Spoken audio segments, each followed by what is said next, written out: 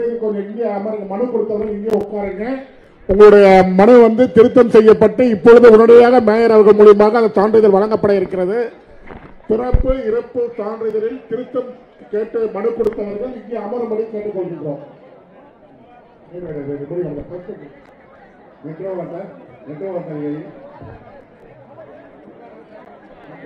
Area இருக்கின்றோம்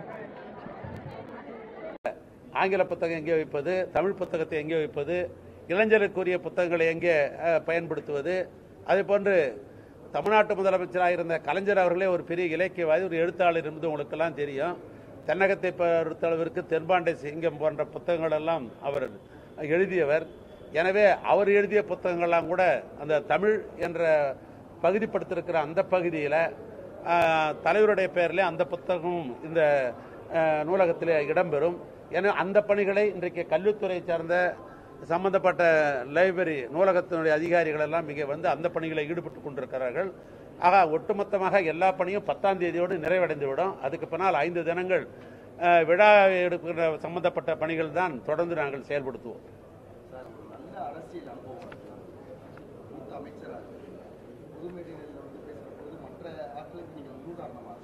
ஆனால் நேற்று உயர்நீதிமன்ற கிளை வந்து கலைஞர் போட்ட பிச்சின்னு சொல்லியிருக்கு இன்றைய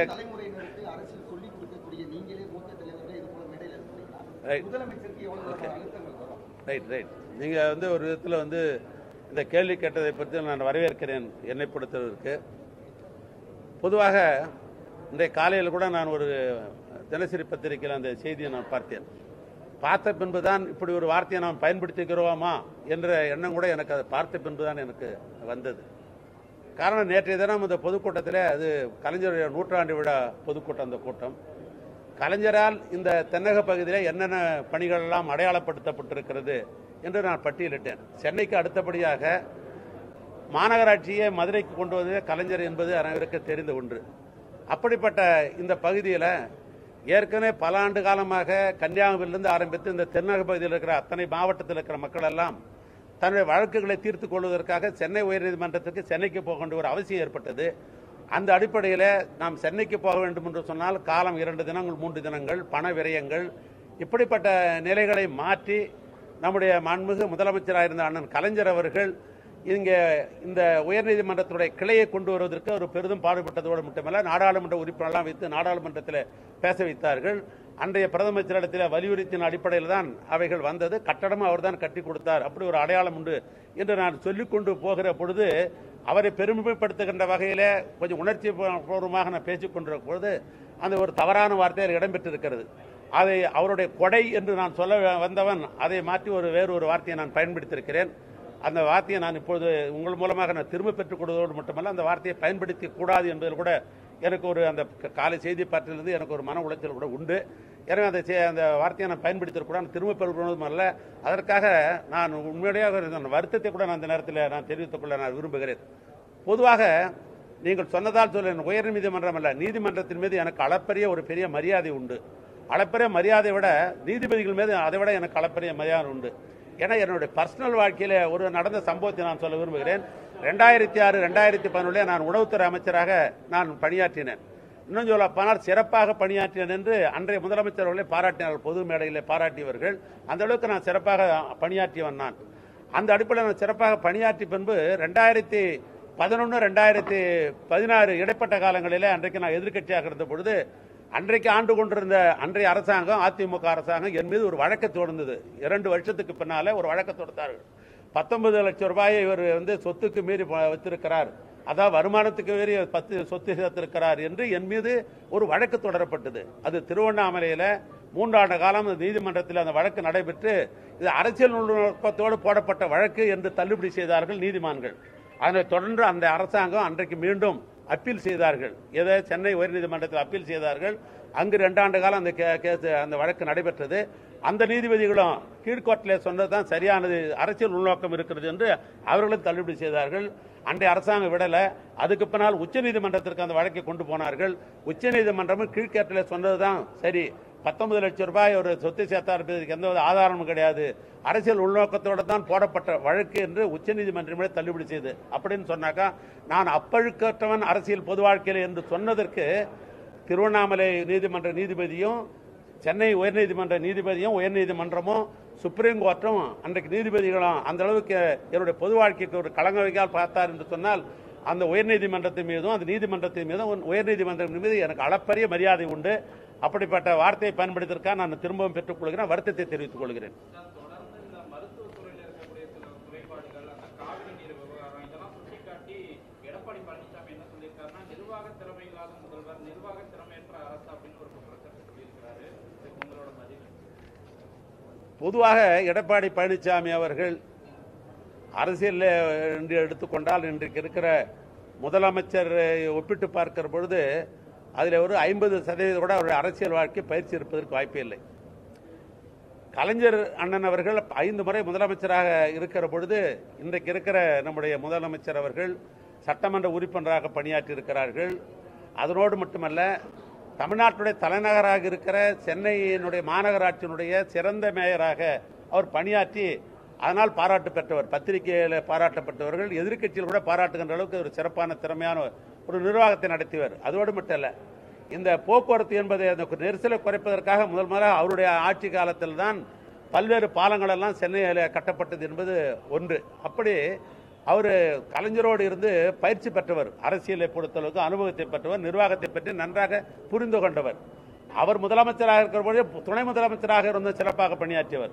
அவரை பொறுத்தளவுக்கு முதலமைச்சரான உடனேயே சிறப்பாக தமிழ்நாட்டு மக்கள் பாராட்டுகின்ற வகையில் அவர்கள் நடத்தி கொண்டிருக்கிறார்கள். தான் பிடித்ததுதான் மூணு காலம் முதலமைச்சர் நினைப்பாங்க. அப்படிப்பட்ட முதலமைச்சர் அல்ல. மக்கள் என்ன விரும்புகிறார்களோ அதை செய்யணுன்றதான் முதலமைச்சர். ஒரு செய்தியை சொல்லுகிறார்.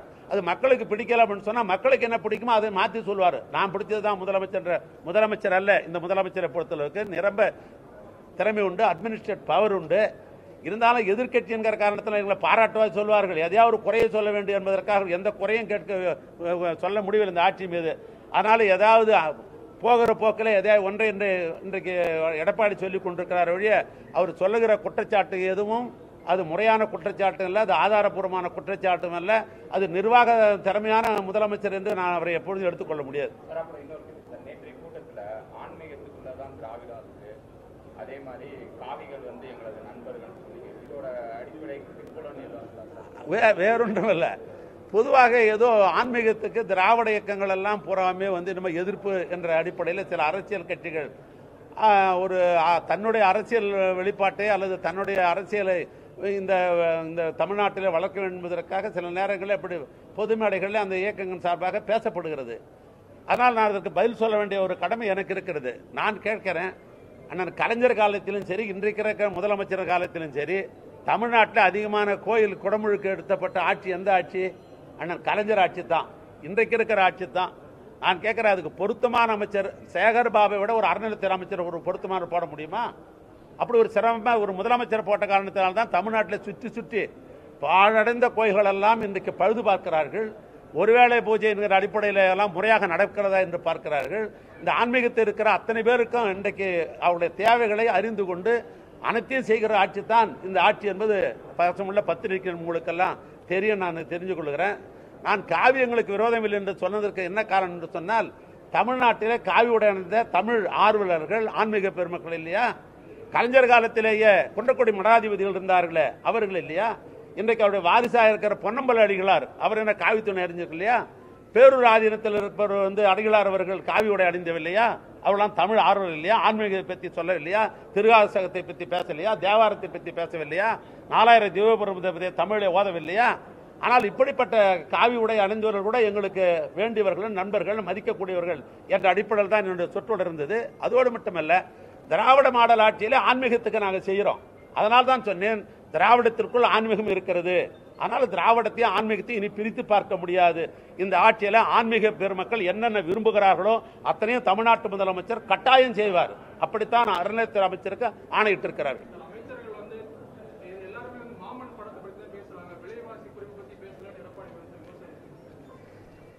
அவருக்கு ஒரு ஆத்திரம்.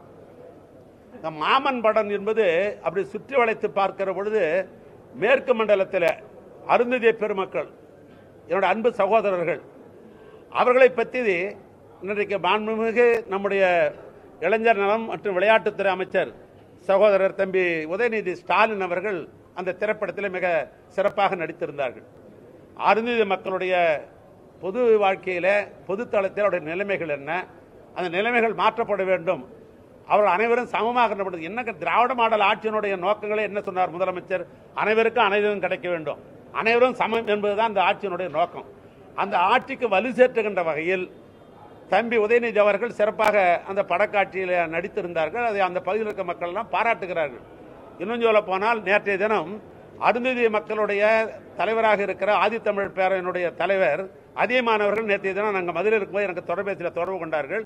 எங்கள் பகுதியில் இருக்கிற அருந்ததி மக்கள் எல்லாம் இந்த மாமன் படத்தை ஆகோ ஓகோ என்று பாராட்டி கொண்டிருக்கிறார்கள். தயவு செய்து இளைஞர் நலத்துறை அமைச்சரிடத்தில் ஒரு தேதி வாங்குங்கள். கோயம்புத்தூர்ல எங்கள் ஒட்டுமொத்த மக்களும் அரசுக்கு அப்பாற்பட்டு அவர்களுக்கு நாங்கள் பாராட்டு கூட்டம் நடத்த வேண்டும் என்று என்னிடத்தில் அவர் தொடர்பு கொண்டார்கள். நான் சென்னைக்கு போனேன். என்னுடைய மாண்புமிகு அமைச்சர் தம்பியிடத்தில் பேசி உங்களுக்கு சொல்கிறேன் என்று சொல்லுகிற பொழுது அங்கிருக்கிற ஒட்டுமொத்த அருந்தியர் மக்களும் ஒரு காலத்தில் அதிமுகவோடு தான் உறவு வைத்திருந்தார்கள். அவருக்கு அதிகமாக கூட சப்போர்ட் பண்ணாங்க. ஆனால் போன நாடாளுமன்ற தேர்தலும் சரி இந்த சட்டமன்ற தேர்தலும் அந்த அருந்ததி பெருமக்கள் இன்னைக்கு இருக்க வேண்டிய இடம் காரணம் என்று சொன்னால் மூன்று சதவீத இடஒதுக்கீடு அறிஞர் மக்களுக்கு கொடுத்த பின்புதான் அந்த அறிஞர் மக்கள் இன்றைக்கு டாக்டராக இன்ஜினியராக கல்லூரிய பேராசிரியராக ஆட்சியை நடத்துகிற சப் கலெக்டர்களாக இப்படி வந்து கொண்டிருக்கிற காரணத்தினால் அந்த மக்கள் இனி திராவிட முன்னேற்ற கழகம் தளபதி பின் தான் நாம் அணிவகுக்க வேண்டும் என்ற உணர்வு வந்துவிட்ட காரணத்தினால் அதை கொச்சைப்படுத்துவதற்காக தான் எடப்பாடி பழனிசாமி இப்படி பேசுகிறார் ஆத்திரத்தின் அடிப்படையில் பேசுகிறார் வேறொன்றுமல்ல. அப்புறம்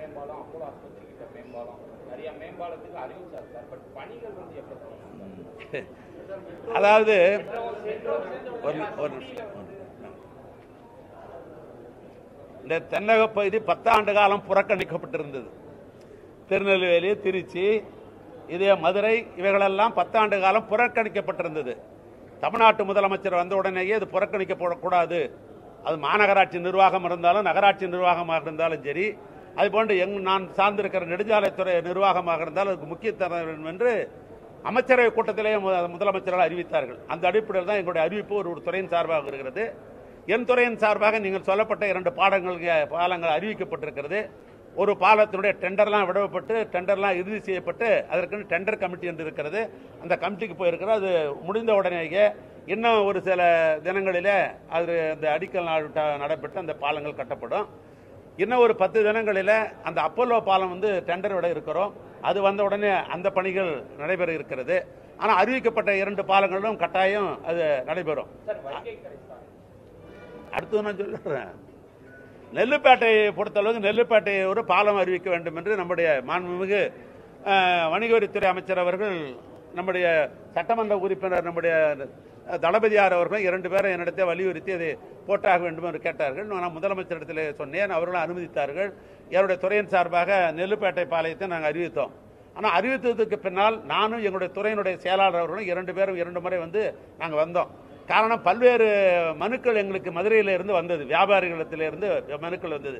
நீங்கள் இது வந்து குறுகலான பாதை. இதில் எனக்கு பாலம் கட்டினீங்கன்னாக்கா எங்களுடைய வியாபார ஸ்தலங்கள்லாம் வந்து வீணாகிவிடும். வியாபாரமே நடக்காது.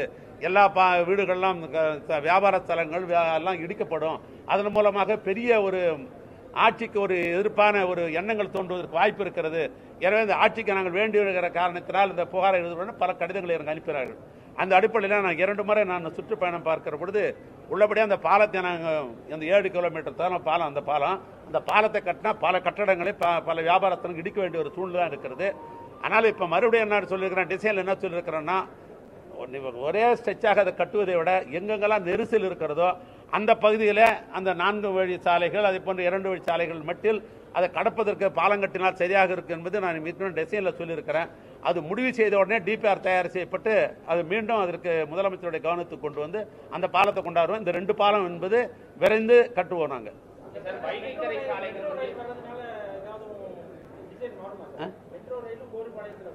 இல்ல அதான் மெட்ரோ ரயிலை பொறுத்த கோரிப்பாளையத்தை அது இல்ல. அந்த டிசைன்ல அது ஒண்ணு மாறுறதுக்கு வாய்ப்பு இல்லை. அது ஏற்கனவே நாங்க பேசிட்டோம். அதுல கோரிப்பாளையம் பாளையத்தை பத்தி எந்த டிஸ்டர்பன்ஸும் கிடையாது.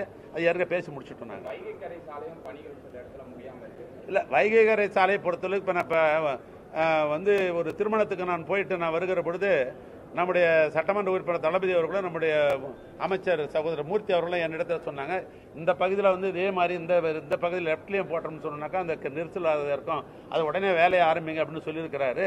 அது நான் கவனத்தில் எடுத்துக்கொண்டு அதுக்கு முன்னுரிமை அளிக்கப்படும். ரைட் நன்றி.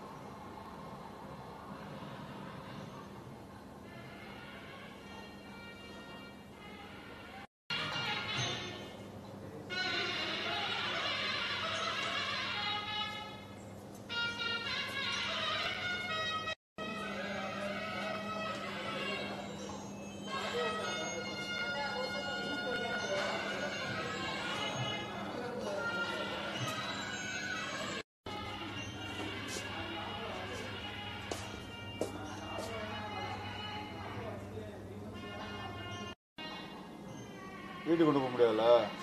வீட்டுக்கு போக முடியாது.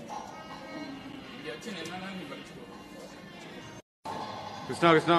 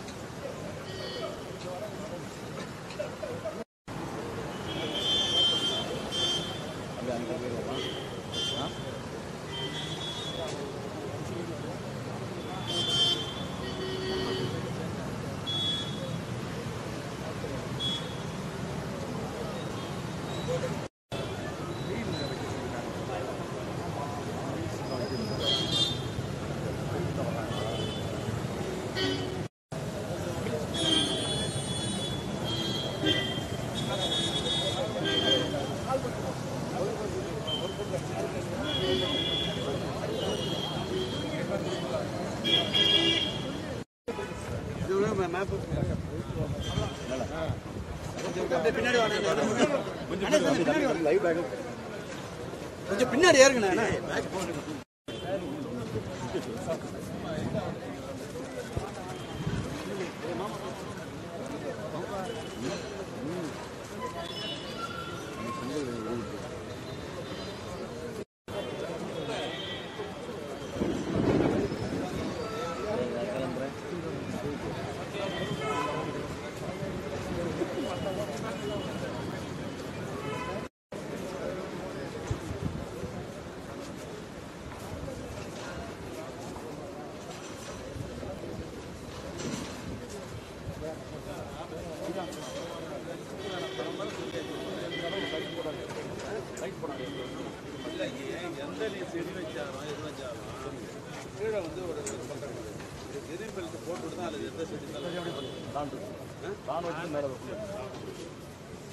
பார்த்தா அது கிரீனாக இருந்தால்தான் அது புல்லு போட்டு அதில் வச்சுனா இதாக இருந்தாலும் எங்கேயுமே மழை பெய்யுது அது சாயம் தான் மேலே. அப்போ இங்கே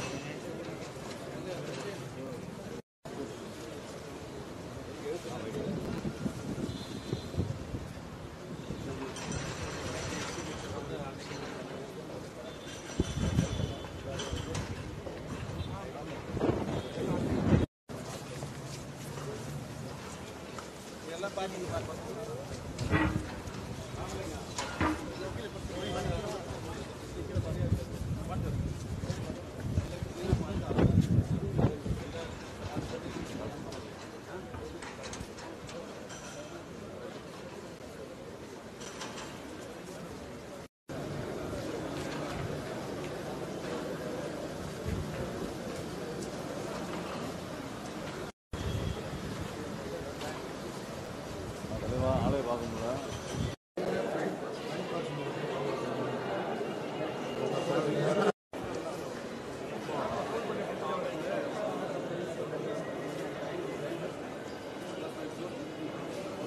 ஏதாவது ஒரு இடத்துல நின்றுக்கிட்டா படம் எடுக்கிறது சரியா இருக்கும் அப்படியே வாங்க. இங்கே வாங்க அப்படியே போயிடுவாங்க என்ன மிடில் வாங்க. ஏதாவது ஓரமாக வாங்க நீங்கள் இந்த சைடு வாங்க. மாஸ்டர் இப்படி ஒரு சொல்லுவாங்க இந்த சைடு வாங்க.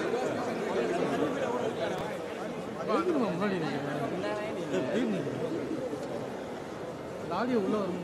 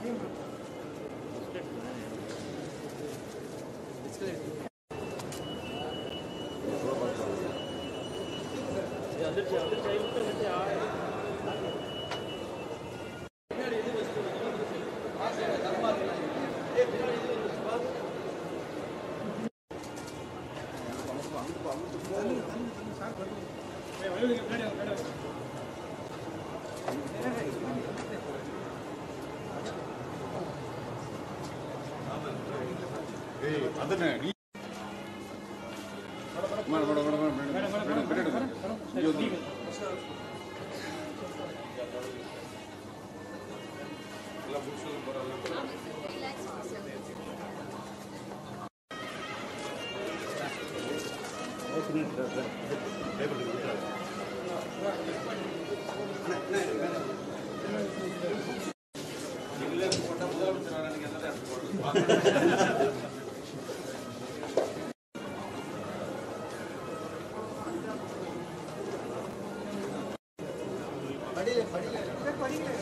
படியில் இருக்கலாம் சார் படியில்.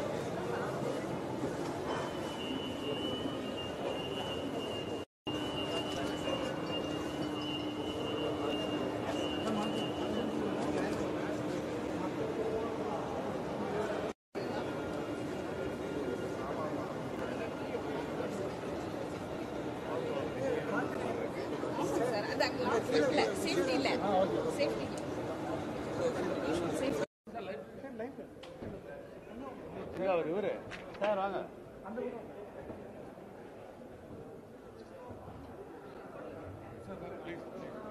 இதுக்கு சொந்தக்காரர் அவர் தான். பாஞ்சாம் தேதி தான் நாங்க சொந்தக்காரர். அது மாதிரி அவர் சொந்தக்காரர்.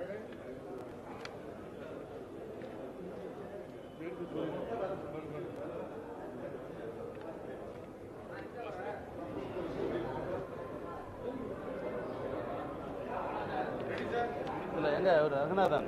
சார். சொன்னது ஏதாவது ஹாரிஸில் வந்துச்சு சார் மொத்தம் நூற்றி இருபத்தி நாலு நூற்றி பதினாலு கோடி சார். நூற்றி இருபத்தொரு கோடி காரி வந்துருச்சு சார். இருபத்தொன்று வந்துச்சு சொல்லமா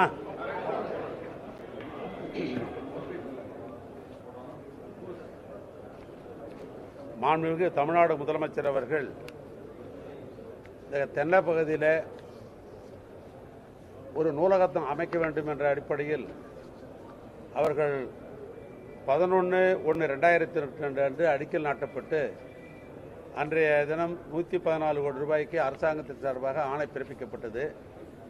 இங்கே தளத்துக்கு வந்து கட்டடங்கள் எல்லாம் இப்பொழுது முதலமைச்சர் அவர்கள் ஒரு முறைக்கு மூன்று முறை இந்த கட்டடப் பணிகள் நடைபெறுகிற பொழுது அவரே நேரடியாக ஆய்வு செய்தார்கள். அந்த அடிப்படையில் இப்பொழுது இறுதியாக இந்த நூலகம் நூற்றி முப்பத்தி நாலு கோடி ரூபாயிலே இந்த நூலகம் கட்டடப் பணிகள் நடைபெற்றிருக்கிறது.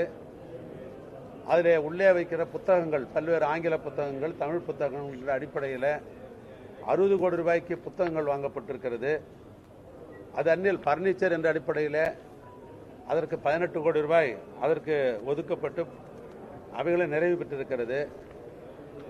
கணினி ஐந்து கோடி ரூபாய்க்கு கணினி வாங்கப்பட்டிருக்கிறது. ஆக ரெண்டு இரநூத்தி பதினைந்து கோடி ரூபாயில இந்த நூலகம் சிறப்பாக அமைந்திருக்கிறது. தமிழ்நாட்டு முதலமைச்சர் அவர்கள் பதினொன்று ஒன்று ரெண்டாயிரத்தி ரெண்டுக்கு இது அடிக்கடி நாட்டினார்கள். நம்முடைய பொதுப்பணித்துறை சார்ந்த பொறியாளர்கள் ஒப்பந்ததாரருடைய முழு ஒத்துழைப்போடு இந்த கட்டடம் இவ்வளவு விரைவாக இந்த கட்டடம் கட்டப்பட்டிருக்கிறது. ஐந்து முறை தமிழ்நாட்டை ஆண்ட மாண்புமிகு முதலமைச்சர் அண்ணன் கலைஞர் அவர்கள் அண்ணாவுடைய நூற்றாண்டு விழாவுக்கு அடையாளப்படுத்துகிற வகையில் சென்னையில் கோட்டூர்புரத்தில் அண்ணா நூற்றாண்டு நூலகம் என்று ஒன்று அவர்கள் அமைத்தார்கள். இன்றைய முதலமைச்சர் திராவிட மாடல் ஆட்சி நடத்தி கொண்டிருக்கிற மாண்பு முதலமைச்சர் தளபதியார் அவர்கள் இந்த ஆண்டு அண்ணன் கலைஞருடைய நூற்றாண்டு விழாவை முன்னிட்டு இந்த கட்டிடத்தை கட்ட வேண்டும் என்று திட்டமிடப்பட்டு இந்த நூற்றாண்டு விழாவில் இந்த கட்டடத்தை இங்கே முடித்திருக்கிறோம்.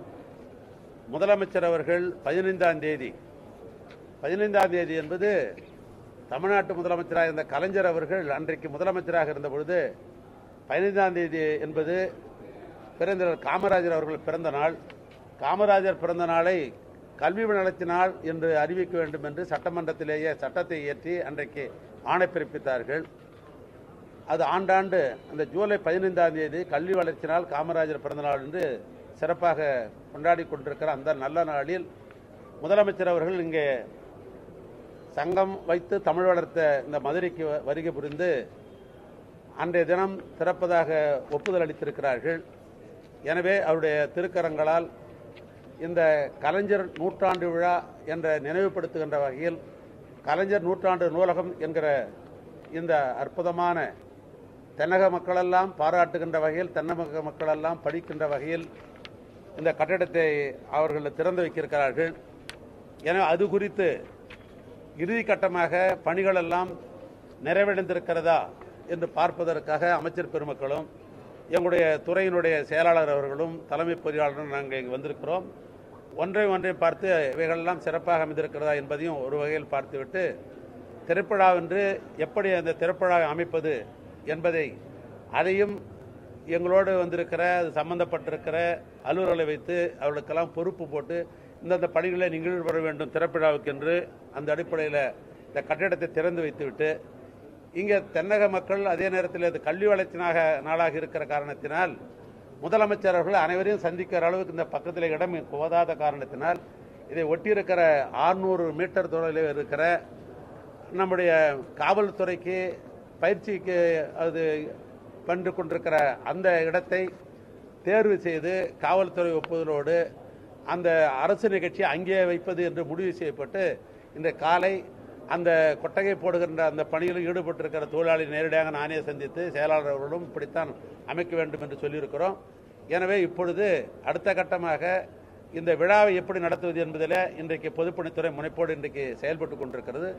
அதே போன்று கல்வித்துறை சார்ந்த அதனுடைய ஆணையாளர் அவர்கள் இங்கே வந்திருக்கிறார்கள்.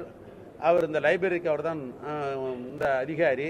எனவே கல்வித்துறை சேர்ந்த அதிகாரிகள் ஒரு ஒரு பகுதியில் ஒரு ஒரு செக்ஷனில் ஆங்கில புத்தகம் எங்கே வைப்பது தமிழ் புத்தகத்தை எங்கே வைப்பது இளைஞருக்குரிய புத்தகங்களை எங்கே பயன்படுத்துவது. அதே போன்று தமிழ்நாட்டு முதலமைச்சராக இருந்த கலைஞர் அவர்களே ஒரு பெரிய இலக்கியவாதி ஒரு எழுத்தாளர் என்பது உங்களுக்கெல்லாம் தெரியும். தென்னகத்தை பொறுத்தளவிற்கு தென்பாண்டை சிங்கம் போன்ற புத்தகங்கள் எல்லாம் அவர் எழுதியவர். எனவே அவர் எழுதிய புத்தகங்கள்லாம் கூட அந்த தமிழ் என்ற பகுதிப்படுத்திருக்கிற அந்த பகுதியில் தலைவருடைய பெயரில் அந்த புத்தகமும் இந்த நூலகத்தில் இடம்பெறும். என அந்த பணிகளை இன்றைக்கு கல்வித்துறை சார்ந்த சம்பந்தப்பட்ட லைப்ரரி நூலகத்தினுடைய அதிகாரிகள் எல்லாம் இங்கே வந்து அந்த பணிகளை ஈடுபட்டு கொண்டிருக்கிறார்கள். ஆக ஒட்டுமொத்தமாக எல்லா பணியும் பத்தாம் தேதியோடு நிறைவடைந்து விடும் அதுக்கு பின்னால் ஐந்து தினங்கள் விழா எடுக்கிற சம்பந்தப்பட்ட பணிகள் தான் தொடர்ந்து நாங்கள் செயல்படுத்துவோம் சார் ஒரு நல்ல அரசியல் அனுபவம் இருக்கு. மூத்த அமைச்சராக பொது மேடைகளில் வந்து பேசும்போது மற்ற ஆட்களுக்கு நீங்கள் முன்னுதாரணமாக இருக்கணும் ஆனால் நேற்று உயர்நீதிமன்ற கிளை வந்து